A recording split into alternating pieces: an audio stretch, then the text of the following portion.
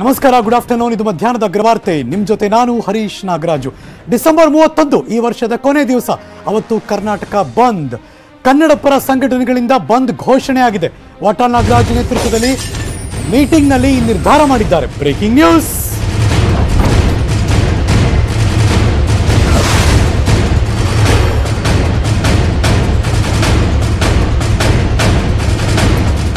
ಕೆಲವೇ ಹೊತ್ತಿನ ಮುಂಚೆ ಮೀಟಿಂಗ್ ಇತ್ತು. ಆ ಮೀಟಿಂಗ್ನಲ್ಲಿ ಬಂದ್ ಬಗ್ಗೆ ನಿರ್ಧಾರ ತೆಗೆದುಕೊಂಡಿದ್ದಾರೆ. ಡಿಸೆಂಬರ್ ಮೂವತ್ತೊಂದು, ಈ ವರ್ಷದ ಕೊನೆಯ ದಿವಸ, ಮುಂದಿನ ಶುಕ್ರವಾರ, ಕರ್ನಾಟಕ ಬಂದ್ಗೆ ನಿರ್ಧಾರ ಮಾಡಿದ್ದಾರೆ ಕನ್ನಡ ಪರ ಸಂಘಟನೆಗಳು. ಗಡಿಯಲ್ಲಿ ಎಂಇಎಸ್ ಪುಂಡಾಟವನ್ನು ಖಂಡಿಸಿ, ರಾಜ್ಯ ಬಂದ್ ಡಿಸೆಂಬರ್ ಮೂವತ್ತೊಂದರಂದು ಇಡೀ ಕರ್ನಾಟಕ ಸ್ತಬ್ಧ ಆಗೋ ಸಾಧ್ಯತೆ. ಬೆಳಗ್ಗೆ ಆರರಿಂದ ಸಂಜೆ ಆರು, ಕರುನಾಡು ಸ್ತಬ್ಧ.